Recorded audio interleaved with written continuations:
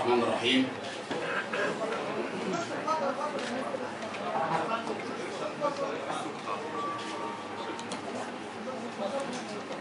واجهت الأجهزة الأمنية التعاون والتنسيق الكامل مع القوات المسلحة خلال الفترة الماضية.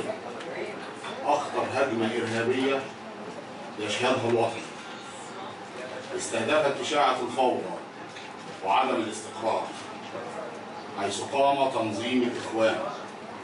بدعم وتمويل من التنظيم الدولي بحشد عدد من العناصر الإرهابية المتطرفة التي تعتنق الفكر التكفيري المتطرف من مختلف التنظيمات والتي يرتبط بها بتنظيم القاعدة وعدد من التنظيمات والعناصر المتشددة بقطاع غزة.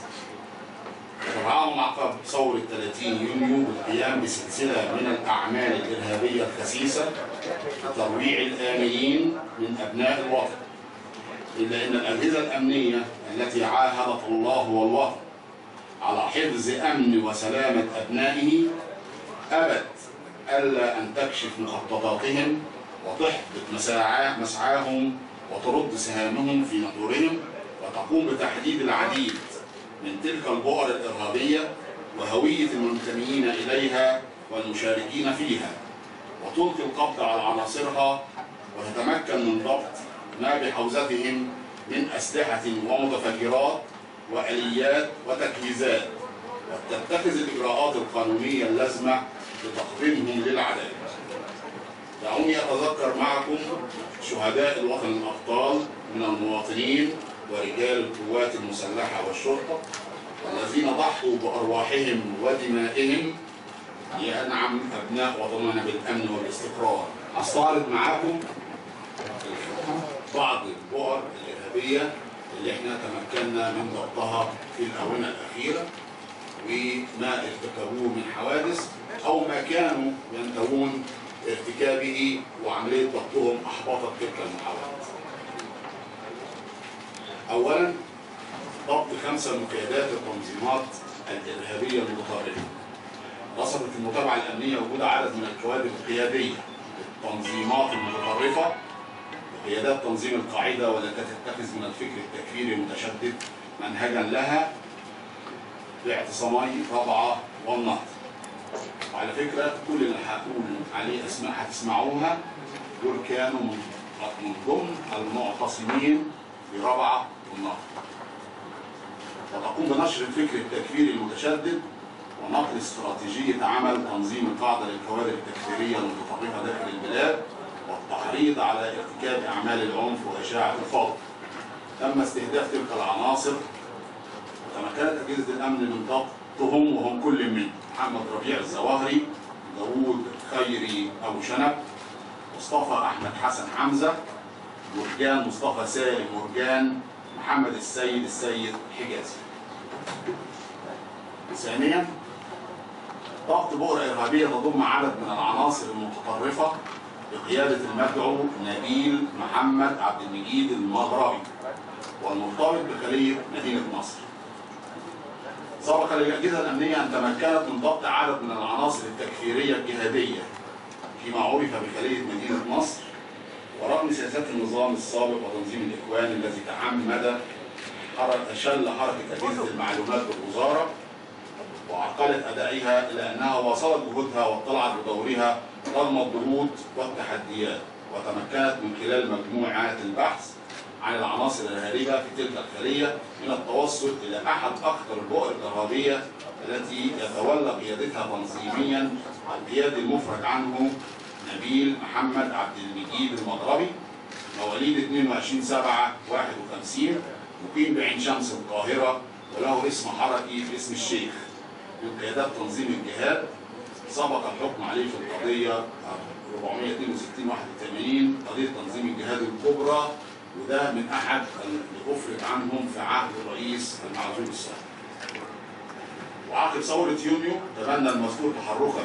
تنظيميا لارتكاب أعمال العنف وإحداث حالة من الشغب والفوضى ومحاولة إسقاط الدولة من خلال استهداف رجال القوات المسلحة والشرطة وعدد من المنشآت الهامة والحيوية وأبناء الطائفة المسيحية ودور عبادته وقد شارك في العديد من أحداث العنف منها أحداث ميدان رمسيس وقد لقى نجله مصرعه في تلك الأحداث. وتضم هذه البؤرة العناصر القيادية أبرزهم سالم عبد العال سالم حسان أبو رجلين السيد فتحي عز الدين محمد هاشم حركي معتز أحمد ماهر أحمد إسماعيل حركي زياد. عقب تقليل الإجراءات واستئذان نيابة أمن الدولة العليا تم استهداف عناصر تلك البؤرة حيث لقي الأول والثاني مصرعهم في مواجهات أمنية وتمكنت القوات من ضبط قائدها المدعو نبيل محمد عبد المجيد المغربي وتم ضبط 39 من عناصر تلك الخلية وهم سيد جمال مصطفى حافظ مواليد 86 الأليبية مقيم شبرا شبرا الخيمة محمد إبراهيم جمعة القرن مواليد 91 شمال سينا ومقيم رفح تم ضبطه عمر حمدي محمود علي مواليد 28 2 85 من السويف سيد أحمد السيد الحريري مواليد 1 10 88 شريف عوض عبد مزهب سن 30 مقيم دمياط هاشم هشام صبحي عبد الهادي عوض حركي أبو المقداد مقيم الجيزة. محمد فاروق عبد الغني موسى ومقيم آه، حركي أبو بكر. مواليد 28 6 79 ومقيم الجيزة. ناصر عبد الفتاح محمد براغيث حركي أبو بلال. مواليد 19 63 ومقيم الجيزة. ابو الفتوح عبد المقصود السيد أحمد عمر مواليد 50 القاهرة عبد الخالق عبد الجليل محمود السعدني سن 60 مقيم مدينة العبور أحمد عبد الخالق عبد الجليل محمود السعدني مواليد 84 مقيم القليوبية فوزي محمد السيد سيف الدين حركي أبو مريم مواليد 70 مقيم الغربية أحمد محمد عبد الرازق عبد العليم مواليد 82 مقيم القليوبيه عمر زكريا محمد علي السعداوي مواليد 79 القليوبيه عشان ما أطولش عليكم هم الأعداد الأسماء كثيرة وأرجو يعني لو كنتوا عايزين تاخدوها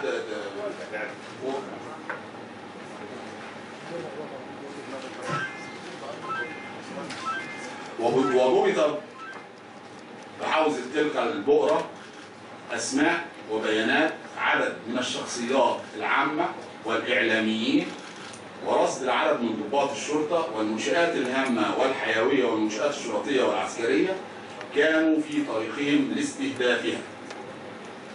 وكان لضبطهم أكبر الأثر في إحباط هذا المخاطر. كما ضبط بحوزتهم بداخل مخزن بمدينة السادس من أكتوبر المضبوطات الآتية. واحد بندقية آلية عيار 762 98 طلقة برميل متوسط الحجم يحتوي على بارود أسود طبعا يكون بارود سلطاني عدد 57 شجرة مطارات عدد واحد لفة فتيل تفجير سريع الاشتعال شجرة مطارات فضة برميل كبير يحتوي على نطرات الفضة عدد واحد فتيل اشتعال بطول 33 متر ثلاثة هيكل قنبلة بحجم قنبلة الغاز عدد اثنين بوتقة زجاجية تحتوي على خلطة نترات ومواد كيميائية داخل إناء به ماء وألواح من الثلج بغرض تبريدها عدد واحد برطمان من البلاستيك بداخله مادة التسمين برميل متوسط يحتوي على بارود أسود يشتبه أن يكون بارود سلطاني. عدد واحد جهاز لابتوب عدد ثلاثة شريحة هاتف محمول عدد واحد مطحنة. ميزان رقمي خمسة دفاية كهربائية أسطو- 17 أسطوانة فضي اللون. ودي الأسطوانات اللي بيجهزوها بالعبوات الناسفة خلاط عدد ثلاثة بطارية 9 فولت عدد خمسة جوال كبريت زراعي عدد واحد أسطوانة حديدية عدد عدد 41 أسطوانة حديدية عدد سبع براميل فارغ عدد واحد جيركن فريون وعدد التكييف كما ضبط بحوزتهم بداخل فيلا وشقة بمدينة العبور المضبوطات الآتية. 11 قنبلة يدوية دفاعية اف اف 1 عدد 8 دانة هاون 82 ملي عدد 10 طلقة مدفعية دفع صاروخي 120 ملي عدد 29 جهاز إطلاق أجزاء خاصة بمدفع هاون 82 ملي أجزاء لدوائر كهربائية عدد 9 سلاح آلي عدد 35 خزينة عدد واحد بندقية اف ان عدد سبعة خزينة عدد واحد بندقية خرطوش عدد اثنين طبنجة حلوان كمية كبيرة من الطلقات وعدد ست رؤوس متفجرة وعدد 200 كيلو جرام بودرة أمونيا وكمية من مادة التي إن تي كما تم ضبط معدات تستخدم للرصد الأمني عبارة عن نظارة ميدان اثنين جهاز لاسلكي هواتف محمولة أجهزة لابتوب كاميرات فيديو digital حديثة وصغيرة مبالغ مالية كبيرة وكمية من المجهولات الذهبية. كما تم ضبط كمية من الأوراق التنظيمية مدون بها بعض المعادلات الكيميائية ورسومات لعربات أمن مركزي وأجزاء لصواريخ بالإضافة لأرقام مدون عليها بخط اليد بعض الكلمات المشفرة تفجير اسم الطبعة اقتحام قسم قمة وأخذ السلاح تفجير كنيسة واستعمار ستة إسلامية فوق جوزك الكل بيحبك وب- وشباب وبنات في العراق خيانة مشروع بعض ال- ال- الشفرات اللي المبينه يعني. وقد تبين من خلال الفحص ارتباط عناصر تلك البؤره بتنظيم انصار بيت المقدس الذي يرتبط بإحدى تنظيمات القاعدة العاملة والتي تنشط في ليبيا تحت مسمى تنظيم انصار الشريعة ويقوم عناصر هذا التنظيم بتمويل عناصر البؤرة في مصر بالسلاح والعتاد. وقد تمكنت أجهزة الأمن من خلال معلومات دقيقة من تحديد مسؤول تسليح التنظيم المتواجد في ليبيا وتم إعداد الكمين له بمدينه مطروح واسفر عن ضبطه ويدعى محمد عبد السميع حميده عبد ربه والمكني حركيا أبو سمية مصري الجنسية كما تم ضبط أحد العناصر الإرهابية القادره بصحبته وخلال عملية الضبط قام بإلقاء قنبلتين أصابت عددا من الضباط والأفراد. ثالثا إحباط عمليات إرهابية توكبت الاحتفال بنصر أكتوبر وتحديد مرتكب واقعه استشهاد اللواء نبيل فراج. ووفرت معلومات الأجهزة مفادها سعي عناصر تكفيريه معتنقه لفكر وايديولوجيه تنظيم القاعدة لمحافظه الجيزة لارتكاب أعمال عدائية وتخريبيه تجاه المنشآت الحيوية والتابعة للقوات المسلحة والشرطة وأبناء الطائفة المسيحية وضلوع بدرهم خلال الاحتفالات بأعياد مصر أكتوبر المجد. تم اختيار النيابه العامه المختصه بتلك المعلومات والتحريات والتي أذنت بضبط هؤلاء وتفتيش مساكنهم وعقبها توجيه ضربة امنيه لهم فجر 5 5 أكتوبر الماضي مكان اختبائهم بمزرعة كائنة بتقسيم جمعية السلام للاصلاح الزراعي الجبل الغربي أمام سجن القطه محافظة الجيزة مملوكة للمدعو فرج السيد عبد الحافظ رفيق ربيع وتمكنت الأجهزة الأمنية من ضبط مصطفى محمد حمزاوي عبد القادر حجازي. وخمسه معاه برضك ممكن حضراتكم تاخدوا الأسماء. وعثر بحوزاتهم على المضبوطات التالية. اثنين قاذف أر بي جي 8 قاذف قذيفه أر بي جي. عدد 8 عبوات دافعة لقاذف أر بي جي. عدد اثنين سلاح آلي متعدد. عدد واحد بندقية ماركة إف إن. عدد واحد بندقية ماركة بريتا عدد واحد بندقية خرطوش. آه عدد واحد جراب دانة. عدد 13 سلاح آلي 762 36 كازنة سلاح آلي اثنين فرد خرطوش عدد واحد طبنجة ماركة بريتا عدد طبنجة حلوان واحد عدد 48 قنبلة بودرة محلية الصنع عدد واحد قنبلة غاز 8 واقي من الغازات عدد اثنين فلتر غيار الأقناع الواقعي من خلال الفحص الفني للمضبوطات وتقسيم وجمع المعلومات والربط بين كافة الملابسات الواقعة وأحداث قسم الكرداسه تبين إن الطرنجة الحلوان المضبوطة هي ذات السلاح المستخدم في واقعة استشهاد اللواء نبيل فراج وأن مرتكب الواقعة هو المدعو أحمد محمد يوسف عبد السلام صالح وشهرته أحمد بيكا مواليد 86 ترجم مقيم كرداسة هارب جاري ضبطه وأن الطرنجه المستخدمة في الحادث مكشفا تم سرقتها من اسم كرداسة أثناء أحداث الهجوم على الاسم. رابعا من حوالي رجال القوات المسلحة والشرطة بمنطقة الإسماعيلية وأعتقد إن كانت الفترة اللي فاتت في حوادث كتير موجودة في هذه الفترة منهم التفجير اللي نال مبنى المخابرات الحربية في إسماعيلية. وكان هو يعني هم ارتكبوا 11 حادثة اللي حاولهم دول مرتكبين 11 حادثة في إسماعيلية. آه، تمكنت الأجهزة الأمنية من ضبط اثنين من أخطر العناصر التكفيرية وأكثرها عنفا وشراسة وقاء العديد من التدريبات على أعمال القتال. حاتم سلامة حسن سليم خلال عملية الضبط أصيب بطلق ناري في المواجهات ولقى مصرعه إثناء علاجه بإحدى المستشفيات. محمود محمد سل- سلمان حماد واعترفوا المسؤولين بارتكاب العديد من الحوادث الإرهابية وبيانها كالتالي.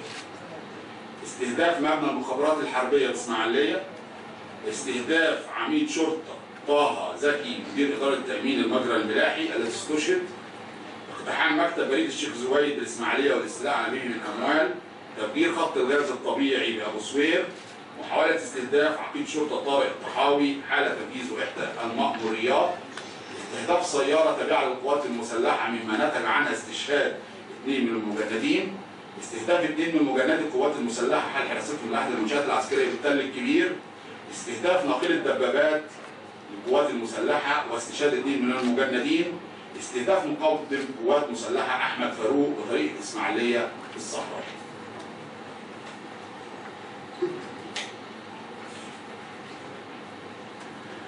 خامسا حوادث تعدي وإطلاق النار على كمين مسترد بتاريخ 9 27 سبتمبر وكمين آخر خلف ميراج سيتي بتاريخ 16 أغسطس. ونقطة شرطة النزهة بتاريخ 30 أغسطس. قامت مجموعات العمل الأمنية بإجراء فحص شامل وكامل لكافة العناصر المشتبه تورطها في ارتكاب أي أعمال عدائية. تمكنت من ضبط محمد فتحي محمد إسماعيل سنجر وشهرته محمد سنجر مواليد 77 مقيم المطرية ومن العناصر المتشددة. السابق مشاركتها بالتعدي على مقر حزب الوفد أحداث الماضية. اعترف بارتكابه اعترف بارتباطه باحدى التنظيمات التكفيرية المرتبطة بتنظيم القاعدة والذي يرأسه الهارب سمير عبد الحكيم إبراهيم. والأخير قام بتكوين عدة مجموعات مسلحة منفصلة تضم 25 عنصر قام بتنفيذ حوادث التعدي على كمين مستورد، كمين خل ميراث سيتي، نقطة شرطة النصر. ثبت عدد من السيارات بالإكراه من بينها السيارة اللي استخدمت في عملية محاولة الاغتيال بتاع وزير الداخليه. قد تمكنت الأجهزة الأمنية من ضبط ثمان عناصر اعترفوا ممتنعين لتلك البؤرة وقيام بالاشتراك بتنفيذ العديد من العمليات العدائية ضد رجال الشرطة و- وهم سيد محمود جاب الله عبد الغني وشكرته خالد الحربي حسن أنور حسن إبراهيم يتخذ اسم حركة اسمه حسن كنانة والباقي برضك ممكن إيه عشان ما أطولش عليكم تاخدوهم من الاعلام بقى. حاد سادسا حادث استشهاد 25 مجند من قوات الشرطة شمال سيناء واختطاف سبع جنود. في إطار المتابعة الأمنية ضبط المتورطين في حادث استشهاد مجندي الشرطة واختطاف الجنود السبعة في شمال سيناء توفرت معلومات تفيد إن المدعو عادل محمد إبراهيم محمد شهرته عادل حبارة الهارب من سجن وادي النطرون في يناير 2011 محكوم عليه غيابيا بالسجن 10 اعوام لتورطه في اصابه فرد شرطة وحيدة أوراقه لفضيلة المفتي لتورطه في حادث مقتل شرطي بدائرة مركز أبو كبير الشرعي. قاموا بمشاركة آخرين من العناصر التكفيرية بمحافظة شمال سيناء اختطاف الجنود السبعة في سيناء وتنفيذ عدد من عمليات السطو المسلح والخطف بهدف توفير الدعم المالي اللازم لتمويل جرائمهم واستهداف قوات الجيش والشرطة. كما أكدت المعلومات أن المدعو عادل حبارة قام بالتخطيط والإعداد لتنفيذ والتنفيذ لحادث مقتل 25 من جنود شمال سيناء خلال شهر أغسطس 2013 بمشاركة المدعو ناصر عياد محمد علي الجيني المدعو عبد الهادي زايد عواد زايد والمكني أبو ولاء الفلسطيني أبو عبد الله المقدسي والمكني بأبو سهيل المسؤول الشرعي تنظيم فتح الإسلام الإرهابي بقطاع غزة.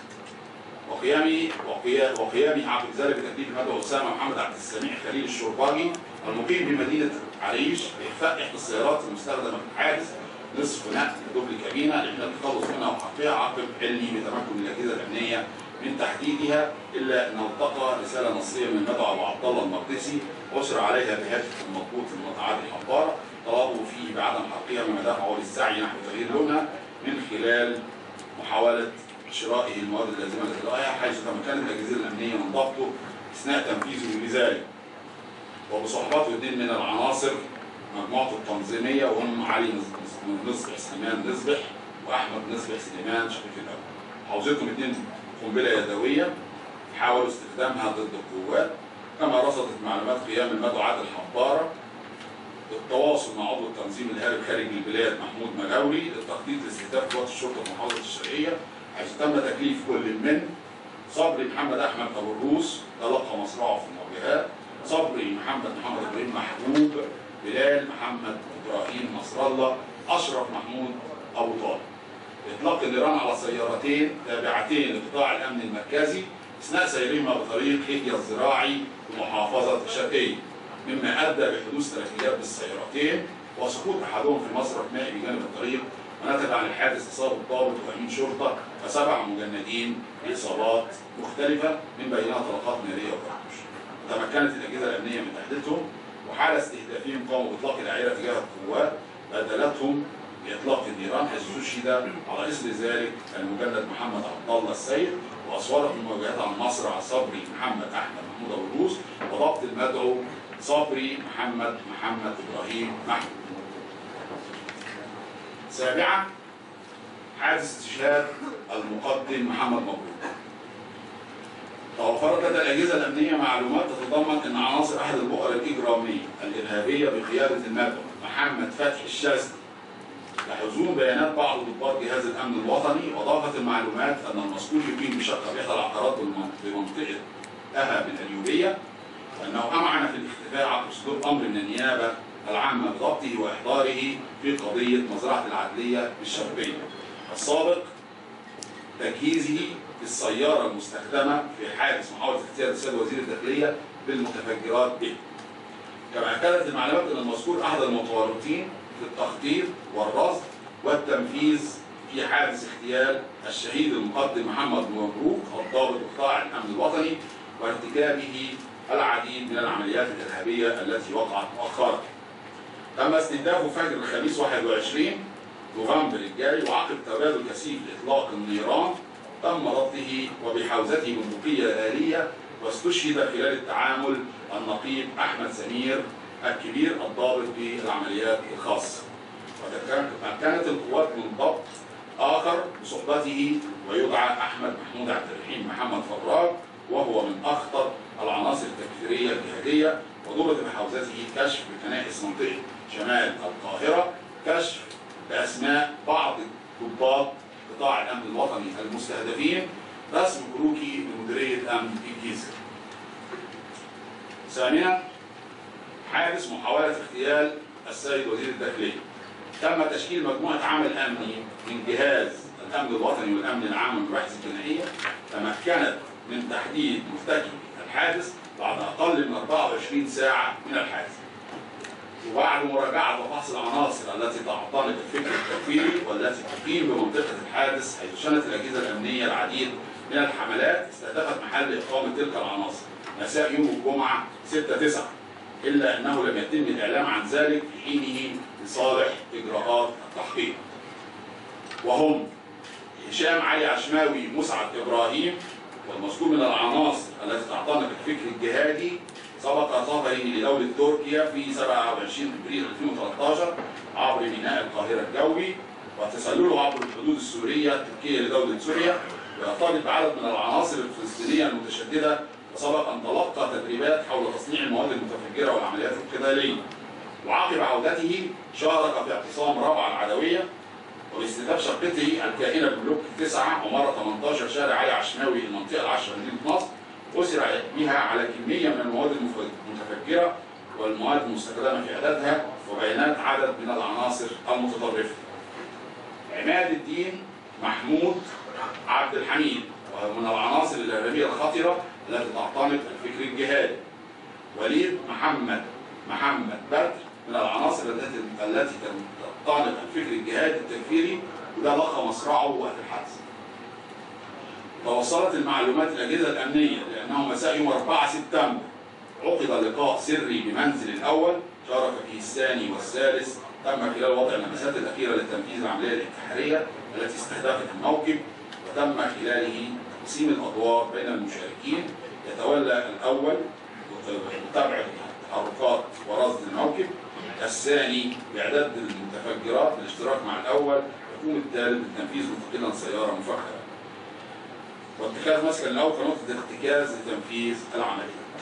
كما توصلت التحريات إلى أن السيارة المفككة محل الحادث تحمل رقم ق د ب 9132 ماركة هونداي مسجلة باسم هالة موريس بداوي قام عناصر التنظيم بسرقتها من المدعو يوسف ميخائيل يوسف بتاريخ 29 7 تحت تهديد السلاح وده محرر عنها محضر في اسم النزهه. وأضافت التحريات إلى أنه تم تجهيز السيارة المشار اليها بالمتفجرات باحدى المزارع بمحافظة الشرقية. يمتلكها أحد العناصر الإرهابية عضو التنظيم ويدعى محمد فتحي الشاذلي وده تم ضبطه. وتكثف الأجهزة الأمنية جهودها لضبط كل من هشام علي عشماوي المسعد وعماد الدين أحمد محمود عبد الحميد. وقد تمكنت الأجهزة الأمنية من تحديد هوية مرتكبي حادثي كنيسه الوراق والقمر الصناعي بالمعادي ودول جاري تعقبهم وسرعة ضبطهم هذا وتواصل الأجهزة الأمنية على مدار الساعة جهدا لمواجهة العناصر الإرهابية وتعقب وضبط كل من سولت نفسه العبث بأمن واستقرار البلاد ولن تزيدها التحديات والمخاطر إلا إصرارا على الاطلاع بمسؤوليتها. اسمحوا لي أن أوجه عدة رسائل اجدها ضروريه في مثل هذه الظروف وما تمر به بلادنا من مخاطر. اولا رسالة لأبناء الضباط والافراد المجندين أعضاء هيئة الشرطه. أتقدم إليكم جميعا بكل الشكر والتقدير على جهودهم المبنية قدمتم أرواحكم ودماءكم فداء لوطنكم ووصلتم الليل بالنهار وسابقتم الزمن في تتبع وكشف تلك التنظيمات الإرهابية وكانت عناية الله ورعايته حليفا لجهودكم الصادقة حفظكم الله ورعاكم. ثانيا رسالة إلى قواتنا المسلحة الباسلة قادة وضباطا وضباط صف المجنود تبرهنون كل يوم على انكم حصن الوطن وأمانه وصمام أمنه واستقراره صدد الله على طريق الحق. خطاكم ودمتم درعا للوطن وسلم. ثالثا رسالة إلى الشعب المصري العظيم. كل التحية والاكبار والإجلال لشعبنا الابي الذي ساند أبنائه من رجال الشرطة والقوات المسلحة وكان خير العون والسند لهم في حربنا ضد الإرهاب. الأمر الذي كان له عظيم الأثر بتحقيق تلك الإنجازات والنجاحات الأمنية. واؤكد للشعب العظيم أن تلك المحاولات اليائسة لن تثنينا عن استمرار جهودنا وتضحياتنا لحمايه أمنه وأمان أبنائه وحفظ مقدرات الوطن واستقراره. وأننا مستعدون جميعا. من أول الوزير حتى آخر مجند أن نستشهد من أجل حماية هذا الوطن ومقدراته. رابعا رسالة إلى العناصر الإرهابية والجماعات التي تعتنق نفس أحذركم جميعا من مكافأة الترويع الأمنية فمهما كانت التحديات والمخاطر لن تزيد الأجهزة الأمنية إلا قوة وإصرار على مواصلة ملاحقتكم وتقديمكم للعدالة. عليكم مراجعة أفكاركم ومواقفكم فطريقكم سينتهي بالفشل والخسران. حفظ الله مصر والسلام عليكم.